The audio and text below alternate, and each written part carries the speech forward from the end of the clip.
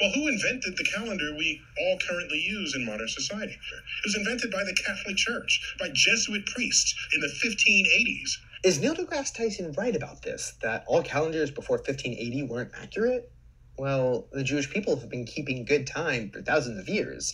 In fact, the very first commandment that God gives to the Jewish people is to make a calendar based off of the new moon. Tracking how long it takes Earth to repeat its seasons. The year that corresponds to our seasons is slightly different from the year that corresponds to how long it takes to go around the sun. It's true. A purely lunar calendar has only 354 days, 11 days shorter than a solar calendar. The Jewish calendar should completely fall out of sync with the seasons. But then, in the book of Deuteronomy, God says that they have to celebrate Passover in the spring. This means that their lunar calendar has to align with the solar year. How do they do this? Well, for centuries, Jews had to actually witness the new moon and officially declare a new month.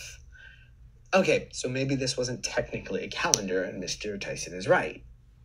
But then the Talmudic sage Hillel created a modern fixed lunar solar calendar that accounted for both the sun and the moon around the year 358 Common Era, 1,222 years before the Jesuits.